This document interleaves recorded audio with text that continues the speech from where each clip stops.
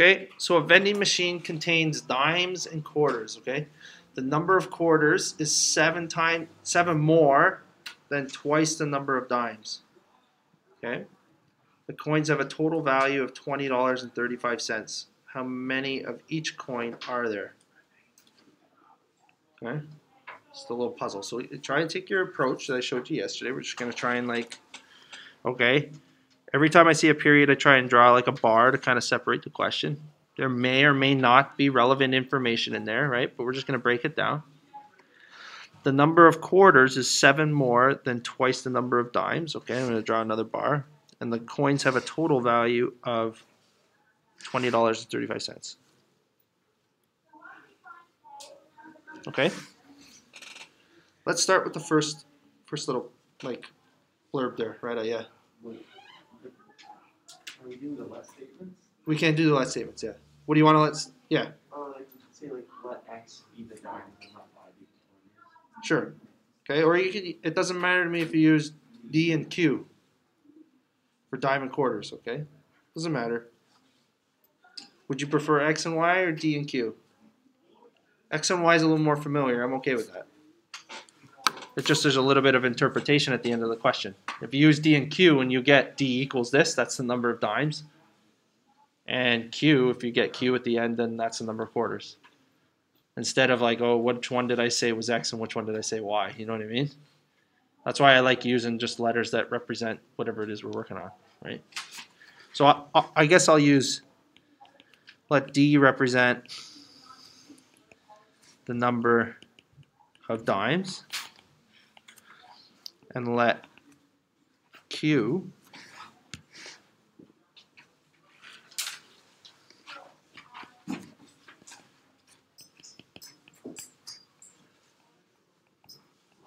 Okay. Now, let's just take a look here. The number of quarters, Q, Q, is, what did I say the word is was? Equal. equals 7 more. That sounds more, the word more we used was addition. Right? Then twice the number of dimes. Twice we like kind of associated with uh, multiplication. Right? Twice the number of dimes, which we said was D. Okay, so I can go, here's one of my equations. Q is equal to 7 plus twice the number of dimes. 2y. Sorry, not 2y. 2d. Okay.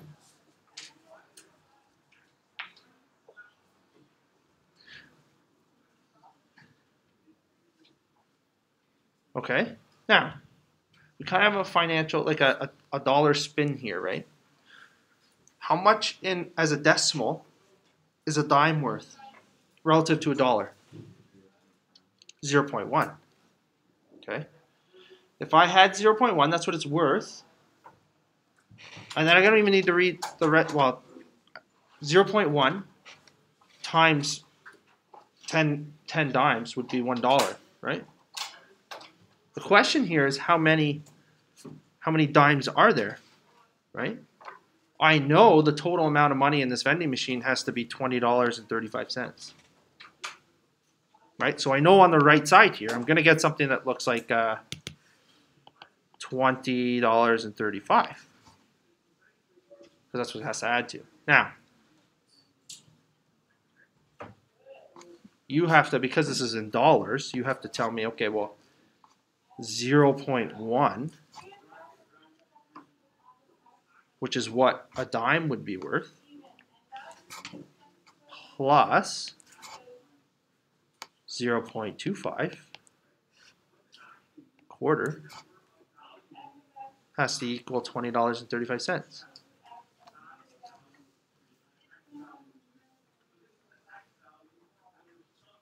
Okay, and this is what I was saying. If I if a dimes were 10 cents and I have 10 of them, then I'm going to have $1. My question is, I don't know how many of them there are each. So if I solve for what D and Q are using these two equations that I've just now come up with, it's going to tell me how many of them there are in the eh, in the vending machine. Is that good?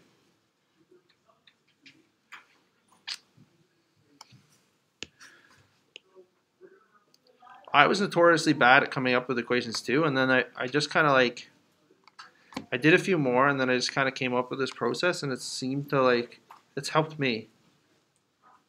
Right? There are hard word problems out there that you have to. We saw one yesterday. We had to juggle it a little bit, right? For the most part, if you break it into segregated pieces, deal with it one piece at a time. You know you have to have two equations.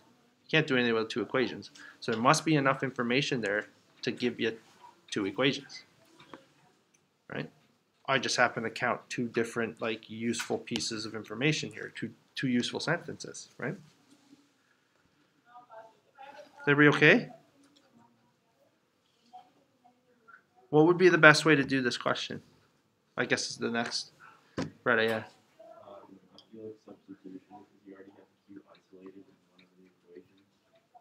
Yes. My only worry is that like if I substitute things, I'm going to start having to deal with fractions. But the nice thing about money is that you're allowed to have decimals and decimals have meaning with money, right? So that's okay. We can we can work with decimals for this question. Right? Did you have something else to add? I was just gonna say if you wanted to get rid of the decimal, technically you can multiply everything by like. You could as well. Uh, the problem with this one, you'd have to multiply by 100. Because then you'd still have a 2.5 if you if you multiplied by 10. We saw that in 1.7. That's totally allowed too. Because I want to deal with the decimals, multiply um, the second equation there by 100, and then on you go. You, then it, then there's no decimals anymore. That make sense? It it doesn't matter if you're comfortable like in this question decimals are okay because it's money so you can work with it okay. Um, so red is right like one of the variables is already isolated q. Without having to do much work i could just plug this into here for q and then just do a little bit of math right? And just solve for what D would be. So if I rewrote number two with Q replaced, that's substitution. Then I'll get something that looks like this. 0.1D plus 0.25. Q, remember, is now this. Okay. So we're going to multiply because it's 0.25 times Q. Okay. So 7 plus 2d is equal to 20.35. I see no more q's in there. I only see the d variable. So now you can just solve for d. I'm just going to do a little bit of math. So I see some jail bars here. I'm going to try and break those down, right? By multiplying this in. That's how you break them down. So let's do that. 0.1d plus, what's 0.25 times 7? Can anybody do that? 1.75? And then what's 1 quarter of 2? 0.5d.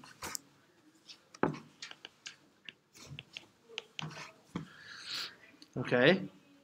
They're just going to collect like terms.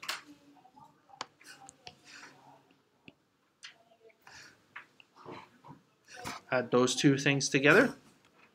And then you could take the 1.75 and move it to the other side. And remember, I'm going to have to subtract.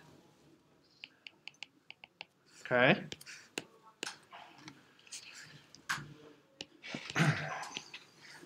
So I get 0.1d plus 0.5d is equal to 20.35 minus 1.75. Okay.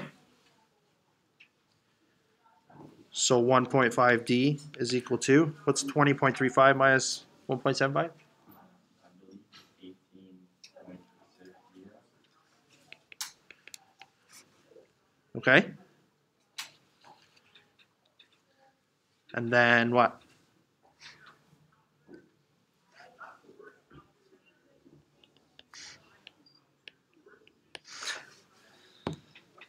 Wait, um, how do you have one point five B?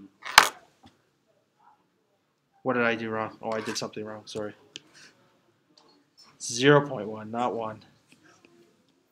What does that turn into? Sorry, that's my bad. 0.6.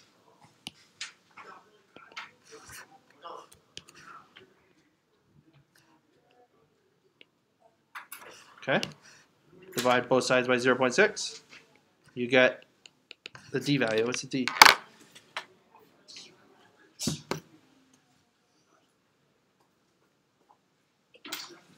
If you were to type that into your calculator,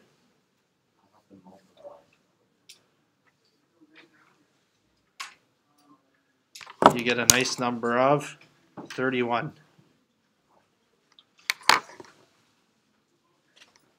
Okay?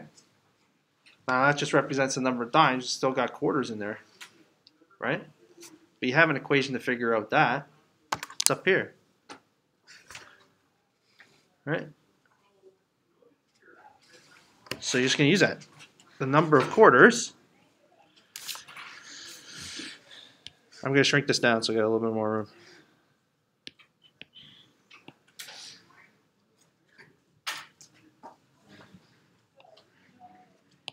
Okay, number of quarters is equal to 7 plus 2 times 31. 7 plus 62.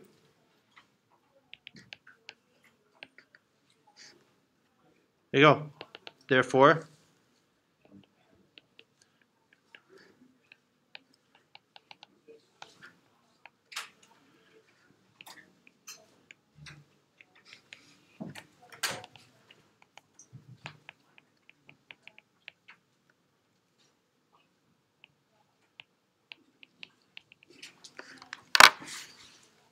okay. Yeah, read it. Read it. So you were to have a POI in this, would it be like, uh, thirty-one sixty-nine? You just go in alphabetical order. That way, there's some form of consistency, right? Everybody's writing the same thing. Like if we all follow alphabetical order, that also keeps in track. I, like you're never gonna mix up x and y anymore. You know what I mean? Like when you write it or you try and go to graph something, like which one's x and which one's y, it's always in alphabetical order. Just seems to be like a good. I don't know. I don't know. Is that okay? That's a much uh, uglier question than you'll see on the test today. Process is the exact same though. You get a variable by itself, plug it into the other equation, and away you go. That's it. Okay. Want to do the next one? Is everybody okay with that? I'll leave that up there for a sec. Everybody got it down? Okay.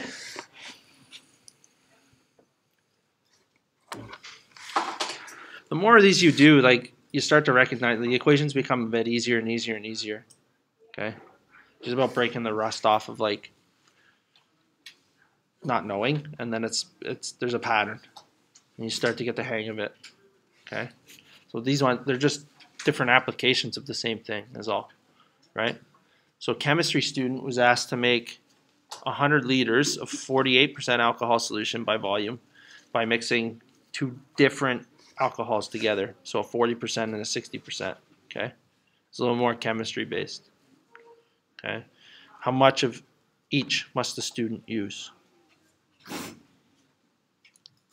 Okay, well, you know there's two different alcohols because it told you that. Okay, so if I, again, I'll break this up. Let me shrink this down so we can.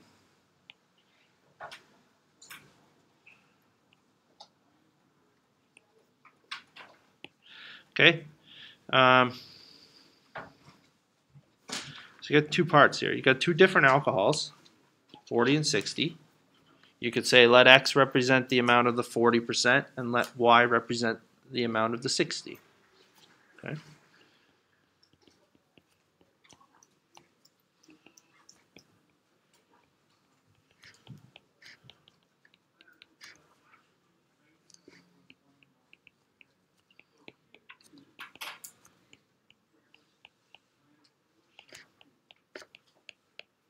All right? Now,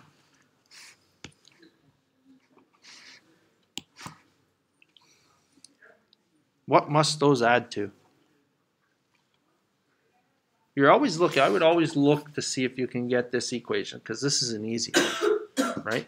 It tells you that when you mix the two things together, how much volume must you have?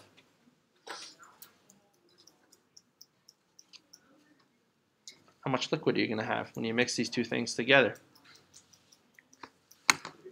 100 liters. Right? So you're always looking for this particular equation. If you can create this one, this is the easy one, right?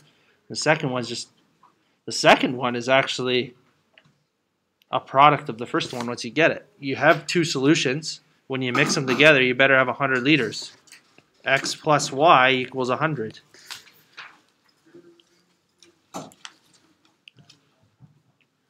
Okay? That's your first equation. The second equation is a little trickier, but not much. When you see when you see start seeing percentages, okay, you want uh, remember x is the 40%. If I see percentages, I'm going to start mix like I'm going to start I'm going to turn them into decimals. Okay? I'm going to say okay, well, how much 40% do I need? That's determined by x. But, so if I went 0.4 x, and then you have another alcohol that's 60%, which is represented by y, 0.6 y, that has to equal an alcohol by volume of 100 liters. So you have the 100 still sitting here but it needs to be like this is like what we're going to call like a kind of a, a percentage equation, right? So you're going to have to multiply this by 0.48 because that's the total. The total percentage at the end.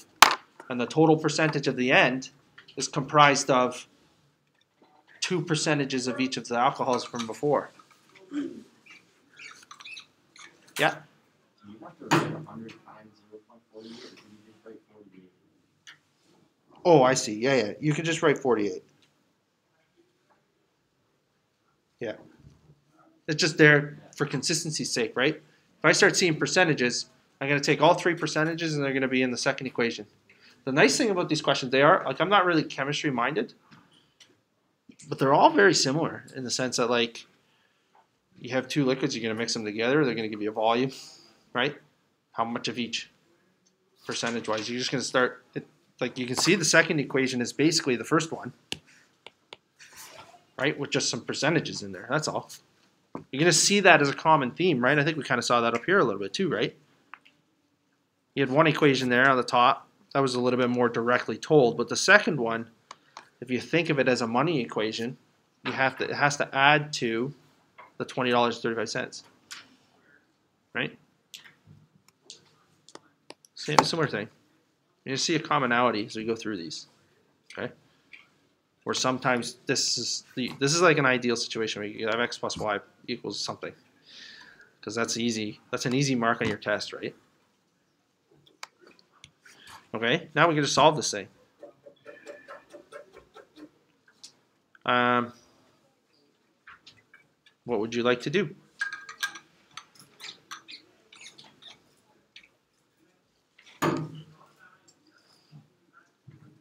We care to see an elimination question this time? Okay. What I'm going to do here, which, uh, which variable would you like to get rid of?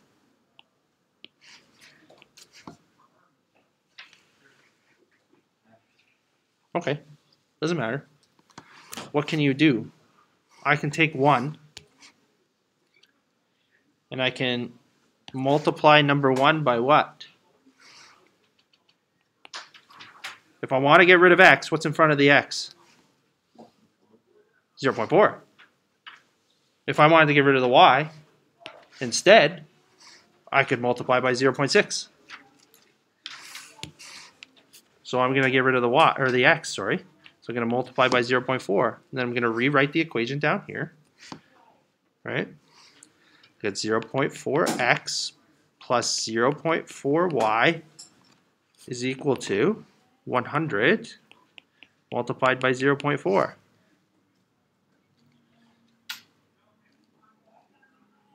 Okay? Is everybody okay if I like I'm kind of out of room here, but is everybody okay with the fact that like 100 times 0.48 is going to be 48? Yeah, Justice. Why is it zero point four one? Because you have to multiply every piece by the 0.4. It's okay. We're just shaking the rust off, right? Like you can see how like, oh yeah, that makes sense because I've done that before, right? You just want to get to the stage where like you can just do it every time, right? We're almost there. That's where we, this works, I think, right? The way we're doing it. Okay? Because we're just going to keep hammering away at substitution elimination through word problems, right? Um, and then 100 times 0.4 is 40. Okay, so those are the two numbers that you're going to, like, these are kind of gone, essentially. You're going to use these two numbers on the end for the equals, okay? So, we have done this on purpose. We did it to make the 0.4, the 0.4's match in front of x. Okay, so that when I subtract them, they cancel. So I got 0. Point, well, I get 0x, and then I get positive 0.6 minus 0.4, which is going to be 0.2y. And then 48 minus 40 is going to be 8. And you just solve for y. Elimination, I think, is a little bit faster and cleaner almost. All right? So, get 0.2y is equal to 8. y is equal to 8 divided by 0.2. y is equal to, what's that?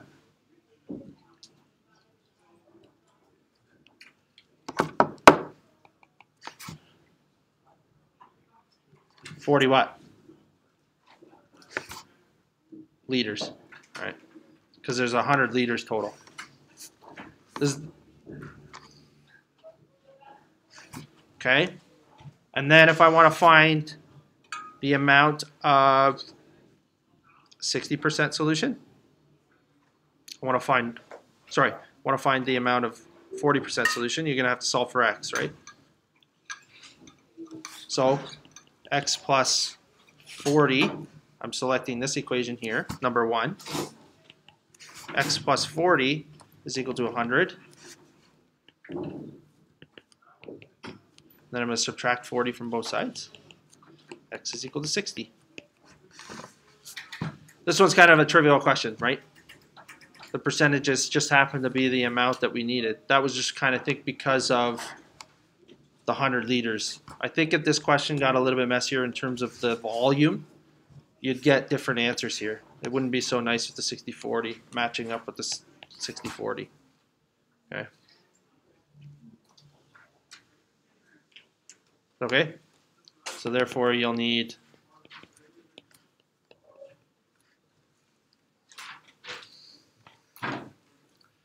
uh, Oh, sorry, it's backwards. Never mind.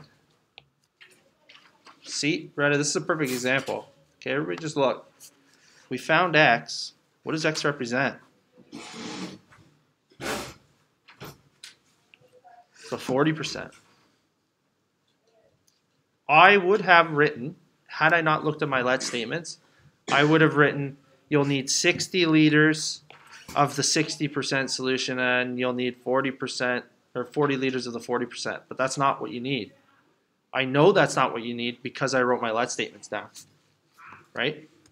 They contradict what I was thinking there. You'll need 60 liters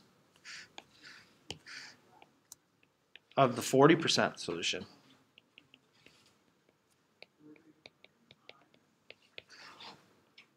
And 40 liters of the 60.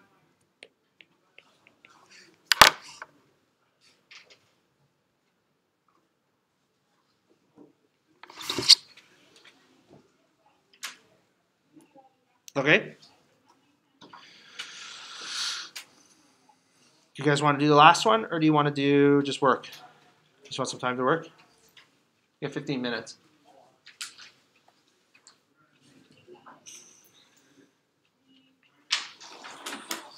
How about I set up? I'll set up the uh, equations for you. Okay, and then that'll be it. You guys can solve them. So again, like we've done, we went over the quiz this morning. Okay, that's substitution elimination we went over. Then I've done substitution elimination again here in these two questions, a little bit harder. Okay, with the last one, you could choose. You can always choose whichever or is going to work best for you, depending on the equations that you've come up with. Right. So these ones, I'll just come up with the the let statements and the equations, and we can solve them after a break or something if you want. Okay. Um, so to increase sales, okay, a store manager fixed gummy. I think those are supposed to be gummy, gummy mixed gummy worms selling at a dollar sixty per kilogram, and chocolate swirls selling at two dollars and twenty cents per kilogram. If the new price became a dollar seventy seventy-five per kilogram, how much of each candy was used to obtain 50 ca- kilograms of the new mixture? Okay. So what the what the store manager's done is they've like they've gone to each bin and they've created a new bin down here and they've taken some from each. And then they're selling it at a dollar seventy-five instead of individually. Okay, just to try and get it out the door, I think. Okay, so that's what's going on. The question is like how much of each went into the new mixture? This bin here. Okay. So,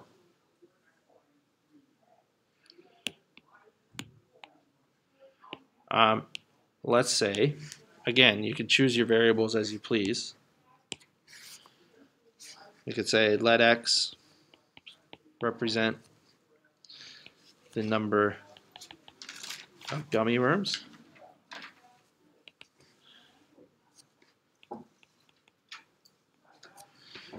And let y represent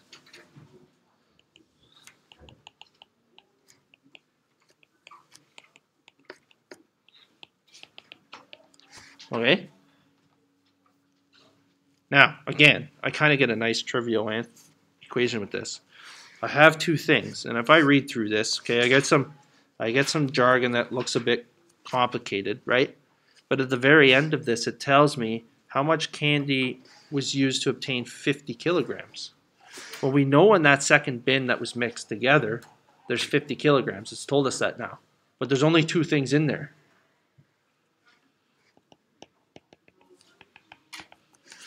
x plus y equals 50. Right?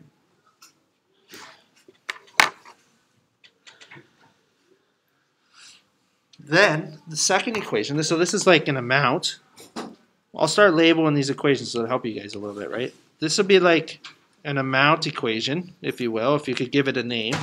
In the second one, there's information provided in the question with like, uh, like the amount of money, okay, or like the amount of money per kilogram. So when you could think of the second equation as being kind of a money equation, right? How much is it normally for the gummy worms? A dollar sixty, right? So you're gonna go, okay, well, X represents the number of gummy worms, but how much it costs is gonna be a dollar sixty multiplied by X. right? And then the second part, the chocolate sells for two dollars and twenty cents. Well, that's represented by Y. Okay. And then your final question is, okay, well, how much is it? How much is the the the mixed bin worth? Well, you have fifty kilograms, and the price is like this is your question. If you were to go in there and buy mm-hmm. the entire bin, it'd be fifty kilograms. That's how much you would take home with you, but you would pay a dollar seventy-five per kilogram. So on the right side of this, like your money, how much you're actually going to pay, it's going to be one point seven five times fifty.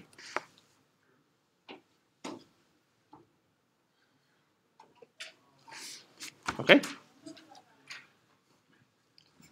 I'll leave it there. I can do the solution and then I'll post it online.